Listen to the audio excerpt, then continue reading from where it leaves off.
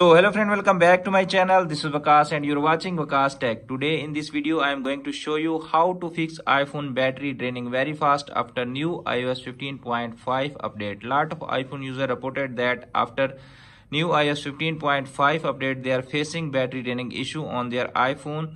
So in this video I'm giving you some tips and tricks so you can easily fix the battery draining fast issue on your iPhone.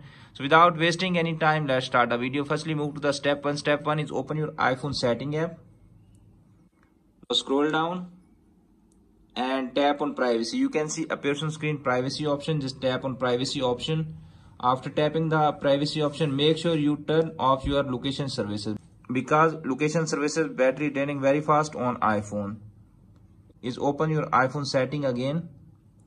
Now scroll down and you can see a person screen a option privacy option again. Just tap on privacy option again and make sure you turn off your app tracking option. Just tap on app tracking option. After tapping the app tracking option just turn off that option.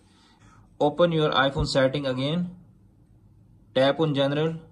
Tap on software update and make sure you have updated your iphone to the latest version. If you have any pending update on your iphone just update your iphone and easily fix iphone battery draining very fast issue. If that method is also not working then move to the next one. The next one is open your iphone setting again. Tap on display and brightness. You can see a person screen. Just tap on it and make sure your display is on dark mode and its automatic mode is turned on so friends, after watching this video, I hope you will all know how to fix iPhone battery draining very fast on iOS 15.5 update. Hope this video is helpful for you. If the video is helpful for you, please don't forget to share and subscribe my YouTube channel and press bell icon for upcoming videos notification. Thanks for watching.